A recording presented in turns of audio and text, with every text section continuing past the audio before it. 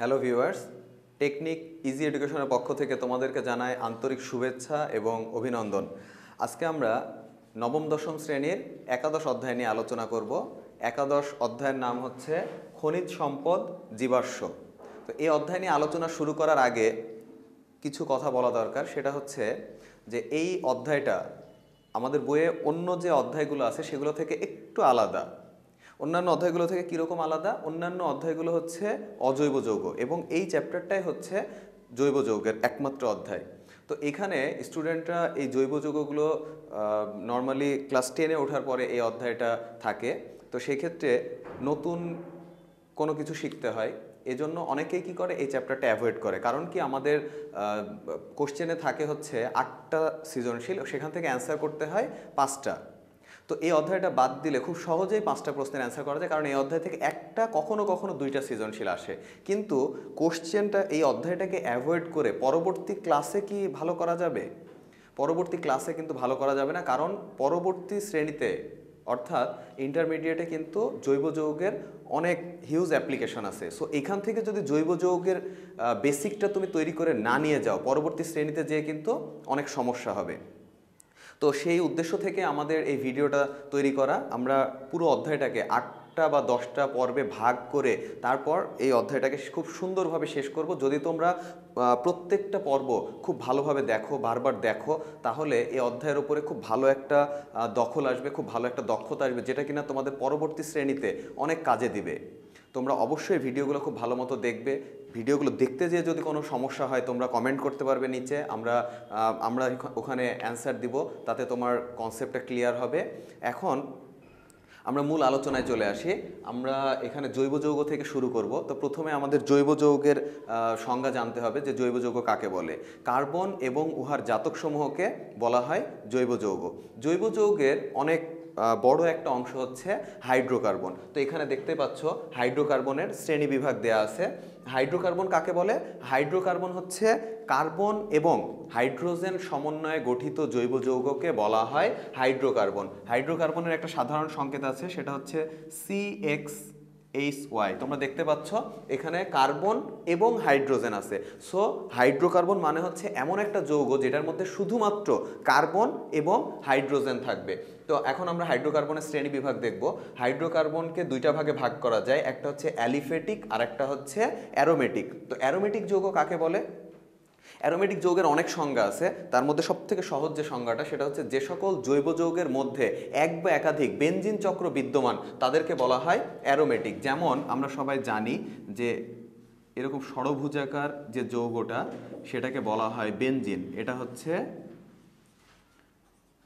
Benzene এটা হচ্ছে বেঞ্জিনের উদাহরণ। বেঞ্জিন একটা অ্যারোমেটিক যৌগ। এরকম দুইটা বেঞ্জিন চক্র যদি একসাথে থাকে তখন আমরা সেটাকে বলি ন্যাপথলিন। বেনজিন, ন্যাপথলিন, এগুলো হচ্ছে অ্যারোমেটিক যৌগের উদাহরণ। এখন আসো অ্যালিফেটিক। অ্যালিফেটিক খুব সহজেই অ্যালিফেটিকের সংজ্ঞা দেওয়া যায়। যে সকল যৌগের মধ্যে অ্যারোমেটিক যৌগের যে ধর্ম, এই ধর্মগুলো যে যৌগের মধ্যে অনুপস্থিত, সেই সেই যৌগগুলোকেই বলা হয় অ্যালিফেটিক এখন অ্যালিফেটিককে আমরা আবার দুই ভাগে ভাগ করতে পারি, একটা হচ্ছে মুক্ত শিকল আর একটা হচ্ছে বদ্ধ শিকল। এখন মুক্ত শিকল যৌগ কাকে বলে বা বদ্ধ শিকল যৌগ কাকে বলে, আমরা উদাহরণ দেখলে ব্যাপারটা আমাদের কাছে অনেকটাই ক্লিয়ার হয়ে যাবে। সেটা হচ্ছে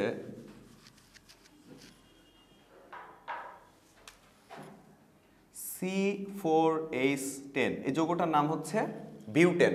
তো বিউটেনের যদি আমরা গাঠনিক সংকেত দেখি, দেখো, বিউটেনের গাঠনিক সংকেত হচ্ছে C H three bond C H two bond C H two bond C H three এটা হচ্ছে বিউটেন। এখানে কার্বন কয়টা আছে? এক, দুই, তিন, চার। চারটা কার্বন আছে। দেখো, এখানে চারটা কার্বন। হাইড্রোজেন আছে তিন, আর দুয়ে পাঁচ পাঁচ আর দুয়ে সাত সাত আর তিনে দশটা। সো হাইড্রোজেন আছে দশটা, কার্বন আছে চারটা। এটা হচ্ছে বিউটেন। এখানে লক্ষ্য করো এখানে যে কার্বনটা আছে, যে প্রান্তীয় যে কার্বনটা, এই কার্বনটা মুক্ত। আবার এই প্রান্তে যে কার্বনটা আছে, এই কার্বনটাও মুক্ত। এই জন্য এই যে শিকলটা, এটাকে আমরা কি বলতেছি? এটাকে আমরা বলতেছি মুক্ত শিকল। এখন আসো, বদ্ধ শিকল। বদ্ধ শিকলের উদাহরণ কেমন? বদ্ধ শিকল হচ্ছে C H two bond C H two C H two bond C H two লক্ষ্য করো, এখানেও কার্বন আছে কয়টা? এখানেও কার্বন আছে চারটা। কিন্তু এখানে কি কোনো প্রান্তীয় কার্বন পরমাণু আছে? অর্থাৎ এখানে প্রান্তে যেমন মুক্ত কার্বন আছে, এই প্রান্তে যেমন মুক্ত কার্বন আছে, এখানে কিন্তু কোনো প্রান্তে কোনো মুক্ত কার্বন নেই। সো এই যৌগটাকে আমরা কি বলব? এই যৌগটাকে আমরা বলব বদ্ধ শিকল। সো আশা করি এখন মুক্ত শিকল যৌগ এবং বদ্ধ শিকল যৌগ সম্পর্কে তোমাদের ধারণাটা ক্লিয়ার হয়ে গেছে। এখন আসো, আমরা আরও যে ক্লাসিফিকেশন আছে মানে মুক্ত শিকলকে আবার দুই ভাগে ভাগ করা যায়। একটা হচ্ছে সম্পৃক্ত, আর একটা হচ্ছে অসম্পৃক্ত। সম্পৃক্ত যৌগ কাকে বলে?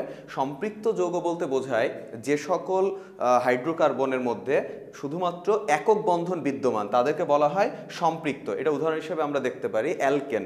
আর অসম্পৃক্ত কাকে বলে? অসম্পৃক্ত হচ্ছে যে সকল হাইড্রোকার্বনের মধ্যে দ্বিবন্ধন বা ত্রিবন্ধন আছে, তাদেরকে বলা হয় অসম্পৃক্ত। যেমন উদাহরণ হিসেবে এখানে আছে, অ্যালকিন এবং অ্যালকাইন। এখানে আমাদের যে উদাহরণটা দেয়া আছে, বেনজিনের, সরি, এখানে যে উদাহরণটা দেয়া আছে, বিউটেনের, এই বিউটেনটাকে যদি আমরা আরও ভেঙে দেখি, লক্ষ্য করো। এখানে কার্বনের সাথে হাইড্রোজেন আছে তিনটা, এক, দুই, তিন, তিনটা। এইখানে কার্বনের সাথে হাইড্রোজেন আছে কয়টা? দুইটা। এই কার্বনের সাথে দুইটা। এই কার্বনের সাথে কয়টা? তিনটা।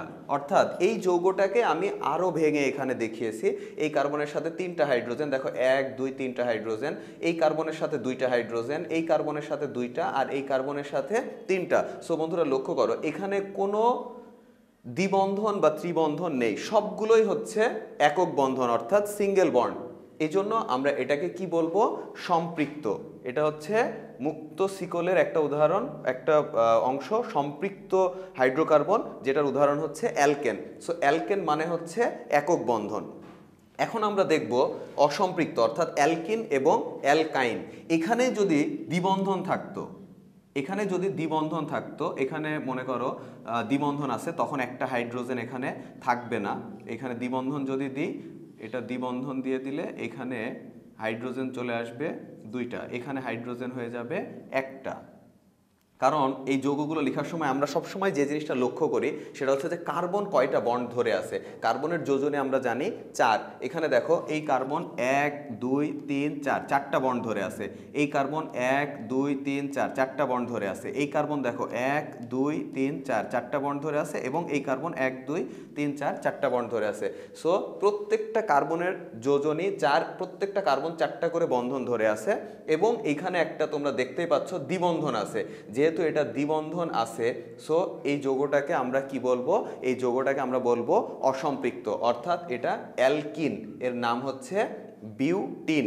পরবর্তীতে আমরা এরপরেই এই পর্বে আমরা আরও ডিটেলস অ্যালকেন, অ্যালকিন এবং অ্যালকাইনের নামকরণ সহ ক্লাসিফিকেশনগুলো আমরা দেখব। তো এটা হচ্ছে অ্যালকিন। আরেকটা অসম্পৃক্ত যৌগ হচ্ছে অ্যালকাইন। অ্যালকাইন অর্থাৎ ত্রিবন্ধন থাকবে। এখানে ত্রিবন্ধন থাকবে। যখনই আমি এখানে ত্রিবন্ধন দিব, তখন এখানে এই হাইড্রোজেনটা থাকবে না, কারণ কি কার্বন দেখো অলরেডি এক, দুই, তিন, চার, চারটা বন্ড ধরে আছে। এই জন্য এই কার্বন কোনো হাইড্রোজেন থাকবে না, আর এই হাইড্রোজেনের সাথে এই কার্বনের সাথে একটা হাইড্রোজেন থাকবে। সো এখানেও এই হাইড্রোজেনটা আমাদের মুছে দিতে হবে। এইখানে ত্রিবন্ধন থাকবে, এই হাইড্রোজেনটা মুছে দিতে হবে। সো এখানে দেখো, এই কার্বন তো অলরেডি চারটা বন্ড ধরে আছে, এই কার্বন চারটা বন্ড ধরে আছে, এই কার্বন তিন আর একে চারটা বন্ড ধরে আছে, এই কার্বন তিন আর একে চারটা বন্ড ধরে আছে। এটার নাম হচ্ছে বিউটাইন। সো এখানে দেখলা এখন আমরা হাইড্রোকার্বনের শ্রেণি বিভাগ করলাম। হাইড্রোকার্বনকে দুই ভাগে ভাগ করা যায়। একটা হচ্ছে অ্যালিফেটিক আর একটা হচ্ছে অ্যারোমেটিক অ্যালিফেটিককে দুই ভাগে ভাগ করা যায় মুক্ত শিকল এবং বদ্ধ শিকল। মুক্ত শিকলকে আবার দুই ভাগে ভাগ করা যায়। একটা হচ্ছে সম্পৃক্ত আর একটা হচ্ছে অসম্পৃক্ত। সম্পৃক্তের উদাহরণ হিসেবে আমরা দেখলাম অ্যালকেন এবং অসম্পৃক্তর উদাহরণ হিসেবে আমরা দেখলাম অ্যালকিন এবং অ্যালকাইন এখন আমরা অ্যালকেন, অ্যালকিন এবং অ্যালকাইন নিয়ে আরও ডিটেলস দেখব। তোমরা এখানে দেখতে পাচ্ছ যে একটা ছক করা আছে। এখানে অ্যালকেন, অ্যালকিন এবং অ্যালকাইন সমৃদ্ধ যৌগগুলো এখানে লেখা আছে। তো আমরা প্রথমে অ্যালকেন নিয়ে আলোচনা করি। অ্যালকেন, সাধারণ সংকেত হচ্ছে C N H two N plus two অ্যালকেনের সাধারণ সংকেত C N H two N plus two alkane সমৃদ্ধ যে যৌগগুলো আছে, অ্যালকেন যৌগের, সেটা হচ্ছে প্রথম যৌগ হচ্ছে মিথেন, তারপর ethane, propane, butane, pentane, hexane, heptane, octane, nonane এবং ডেকেন। তো প্রথমে আমরা আসো অ্যালকেনের সংজ্ঞাটা জানি, অ্যালকেনের সংজ্ঞা হচ্ছে কার্বন কার্বন একক বন্ধন এবং বাকি বন্ধনগুলো যদি হাইড্রোজেন দ্বারা পূর্ণ থাকে, তাহলে সেটাকে বলা হয় অ্যালকেন। তো মিথেনের গাঠনিক সংকেত যদি আমরা দেখি, তাহলে ব্যাপারটা আমাদের কাছে ক্লিয়ার হয়ে যাবে। মিথেনের সংকেত কি? মিথেনের সংকেত হচ্ছে সিএইচ ফোর এখানে যে সংকেত, মিথেনের যে সংকেতটা লিখলাম, এটা কিন্তু এসেছে অ্যালকেনের সাধারণ সংকেত থেকে। অ্যালকেনের সাধারণ সংকেত হচ্ছে C N H two N plus two তো প্রথম যৌগ যখন মিথেন, তখন এখানে এন এর মান হবে ওয়ান অর্থাৎ এই এন এর মান হবে ওয়ান তো বন্ধুরা, লক্ষ্য করো, এখানে যদি আমি এন এর মান ওয়ান বসাই, তো এখানে C one H two into one plus two তাহলে কার্বন একটা, হাইড্রোজেন দুই আর এক গুণ করলে হবে দুই, আর এই দুইয়ের সাথে যদি আমি দুই যোগ করি, তাহলে কত হবে? চার। এই হচ্ছে মিথেন। এখানে যদি আমি এই সংকেতে, সাধারণ সংকেতে যদি এন এর মান আমি দুই বসাই, তাহলে লক্ষ্য করো, এখানে এন হবে দুই, H two into two plus two. So, এখানে কার্বন হয়ে যাবে কয়টা? দুইটা। আর হাইড্রোজেন দুই আর দুই গুণ করলে কত? চার। চারের সাথে যদি দুই যোগ করি, তাহলে কত হবে? ছয়। সো এখানে লক্ষ্য করো, ইথেনের সংকেত দেওয়া আছে কত? সি টু এইচ সিক্স এটাই হচ্ছে ইথেনের সংকেত। এখন আমরা যে সংজ্ঞার কথা বলছিলাম, অ্যালকেনের, ইথেনের যদি আমরা গাঠনিক সংকেত করি, লক্ষ্য করো, এখানে কার্বন আছে কয়টা? দুইটা। হাইড্রোজেন আছে কয়টা? ছয়টা। তো এখানে ছয়টা হাইড্রোজেনকে আমরা একটা কার্বনের সাথে তিনটা হাইড্রোজেন দিলাম আর একটা কার্বনের সাথে আমরা তিনটা হাইড্রোজেন দিলাম। সো দেখো, এখানে প্রত্যেকটা বন্ড কিন্তু সিঙ্গেল বন্ড তো এই জন্য আমরা বলতেছি কার্বন অ্যালকেনের সংজ্ঞায় যে কার্বন কার্বন একক বন্ধন। দেখো এখানে কার্বন কার্বন একক বন্ধন মানে সিঙ্গেল বন্ড এবং বাকি বন্ধনগুলো যদি হাইড্রোজেন দ্বারা পূর্ণ থাকে, তাহলে তাকে কি বলা হয়? অ্যালকেন এখন আসো, আমরা এইভাবে একটা একটা একটা একটা করে কার্বনের নাম্বার আমাদেরকে কি করতে হবে? বাড়াতে হবে। অর্থাৎ এন এর মান এক এক এক এক করে বাড়তে থাকবে। এখানে এন এর মান দুই, এখানে এন এর মান তিন, চার, পাঁচ, ছয়, এভাবে এন এর মান এক এক করে বাড়তে থাকবে। অর্থাৎ এখানে যে সাধারণ সংকেত দেওয়া আছে C N H two N plus two এখানে আমরা এক এক করে নাম্বার বাড়াতে থাকব এবং যোগের যে সংকেত আছে, এগুলো এক এক করে বাড়তে থাকবে। ঠিক একইভাবে অ্যালকিন অ্যালকিনের সাধারণ সংকেত হচ্ছে সিএন এইচ টু এন এটা হচ্ছে অ্যালকিনের সাধারণ সংকেত। এখন, অ্যালকিনের যে সাধারণ সংকেত, এখানে যদি আমরা এন এর মান বসাই, তাহলে লক্ষ্য করো সিএন এইচ টু এন এখানে প্রথম যে সদস্য, অ্যালকিনের অন্তর্ভুক্ত প্রথম যে সদস্য, সেই সদস্যটা এখানে হয় না। কেন? এর কারণ হচ্ছে যে অ্যালকিন অ্যালকিনের সংজ্ঞাটা যদি আমরা দেখি, তাহলে বুঝতে পারব কেন প্রথম সদস্য হয় না। এর কারণ হচ্ছে, অ্যালকিনের সংজ্ঞা হচ্ছে কার্বন কার্বন, দ্বিবন্ধন। কার্বন কার্বন, দ্বিবন্ধন এবং বাকি বন্ধনগুলো যদি হাইড্রোজেন দ্বারা পূর্ণ থাকে, তখন আমরা সেটাকে বলি অ্যালকিন। তো অ্যালকিনের যে দ্বিবন্ধন, এই দ্বিবন্ধন দিতে গেলে দেখো, কার্বন কার্বন দ্বিবন্ধন। এই যে দুই দ্বিবন্ধন, এই দ্বিবন্ধন কখনোই হাইড্রোজেন দ্বিবন্ধন ধরতে পারে না, কারণ আমরা জানি হাইড্রোজেনের যোজনী হচ্ছে এক। তো দ্বিবন্ধন দিতে গেলে অ্যাটলিস্ট আমার দুইটা কার্বন দরকার। এই জন্য অ্যালকিন অন্তর্ভুক্ত এক কার্বন বিশিষ্ট কোনো যৌগ হয় না। অ্যালকিন শুরুই হয় দুই কার্বন থেকে। তো দুই কার্বন বিশিষ্ট প্রথম যে যৌগটা, সেটার নাম কি? ইথিন। তো এখন যদি অ্যালকিনের যে সাধারণ সংকেত, সেখানে যদি আমরা এনের মান দুই বসাই, লক্ষ্য করো, এখানে এনের মান দুই বসালাম, আর হাইড্রোজেন কত হবে? Two into two. তাহলে কার্বন দুইটা আর হাইড্রোজেন চারটা। সো এটা কিসের সংকেত? এটা হচ্ছে ইথিনের সংকেত। এটা হচ্ছে ইথিন। অ্যালকিন। এজন্য এটাকে আমরা কি বলতেছি? ইথিন। ইথেন, অ্যালকেনের যে ইথেন, এটা অ্যালকিনে এসে কি হয়ে যাবে? ইথিন। এবার যদি আমরা এই সংকেতে এন এর মান তিন বসাই, তাহলে লক্ষ্য করো, এখান থেকে আমরা এন এর মান বসালাম তিন। তাহলে কার্বন তিনটা, হাইড্রোজেন টু ইন্টু থ্রি। তাহলে কত হবে? C three, H six. So এটা কিসের সংকেত? এটা হচ্ছে প্রোপিন। লক্ষ্য করো, propyne, C three, H six. এভাবে আমরা কি করব? এন এর মান এক এক করে বাড়াতে থাকব। আর আমরা নিচের দিকে নামতে থাকব, তাহলে ethyne, propyne, butyne, pentyne, hexyne, heptyne, octyne, nonyne এবং ডেকিন, এগুলো হচ্ছে অ্যালকিনের অন্তর্ভুক্ত। ঠিক একইভাবে লক্ষ্য করো, এখন আমরা অ্যালকাইন নিয়ে আলোচনা করব। অ্যালকাইন, যে কারণে অ্যালকিনের প্রথম সদস্য নেই। ঠিক একই কারণে অ্যালকিন, অ্যালকাইন অন্তর্ভুক্ত এক কার্বন বিশিষ্ট কোনো যৌগ হয় না। অ্যালকাইনও শুরু হয় দুই কার্বন থেকে। তো অ্যালকাইন, এর সাধারণ সংকেত হচ্ছে C N H two N minus two তো এখানে লক্ষ্য করো, আমরা যদি এন এর মান দুই বসাই, তাহলে কত হবে? C two H two into two minus two তাহলে এটা কি হবে? সি টু এইচ দুই আর দুই গুণ করলে কত হবে? চার। চার থেকে যদি দুই মাইনাস করি then C two H two এই যৌগটার নাম কি? এই যৌগটার নাম হচ্ছে ইথাইন। এটার আরেকটা নাম আছে, এই যৌগটার আরেকটা নাম হচ্ছে অ্যাসিটিলিন। ঠিক একইভাবে যদি আমরা এখানে এন এর মান তিন বসাই, দেখো এই যে সাধারণ সংকেত, এই সাধারণ সংকেতে যদি এন এর মান তিন বসাই C three H two into three minus two তাহলে কত হবে? সি থ্রি এইচ তিন দুগুণে ছয় থেকে দুই যদি বাদ দিই, তাহলে C three H four so বন্ধুরা সি থ্রি এইচ ফোর আমরা এখানে দেখতে পাচ্ছি সি থ্রি এইচ ফোর মানে হচ্ছে প্রোপাইন ঠিক একইভাবে এই সংকেতে যদি তুমি চার, পাঁচ, ছয়, সাত এভাবে বসাতে থাকো, তাহলে ethyne, propyne, butyne, pentyne, hexyne, heptyne octyne nonyne, decyne, এভাবে আমরা যৌগগুলো পেয়ে যাব। তো তাহলে ঠিক একইভাবে আমরা অ্যালকাইনের সংজ্ঞা দিতে পারি। অ্যালকাইনের সংজ্ঞা কি? অ্যালকাইনের সংজ্ঞা হচ্ছে কার্বন কার্বন, ত্রিবন্ধন এবং বাকি বন্ধনগুলো যদি হাইড্রোজেন দ্বারা পূর্ণ থাকে, তাহলে আমরা সেটাকে কি বলতে পারি? অ্যালকাইন। এখন আসো, একটা জিনিস লক্ষ্য করি, সেটা হচ্ছে অ্যালকিনে আমরা কি বলছিলাম? কার্বন কার্বন, দ্বিবন্ধন। সো ইথিন, এখানে ইথিনের সংকেত হচ্ছে সি টু এইচ ফোর এটার যদি আমরা গাঠনিক সংকেত দেখি, গাঠনিক সংকেত দেখে আমরা মিলিয়ে নিতে পারব যে এটার সাথে কি, এটার মধ্যে কি আহ, প্রকৃতই দ্বিবন্ধন আছে কিনা?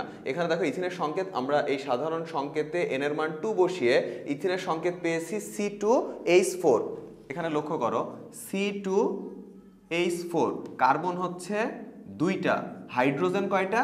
চারটা। তো এই কার্বনের সাথে যদি আমরা দুইটা হাইড্রোজেন দিই আর এই কার্বনের সাথে যদি আমরা দুইটা হাইড্রোজেন দিই এখানে লক্ষ্য করো এই কার্বন কয়টা বন্ড ধরেছে? এক দুই তিন।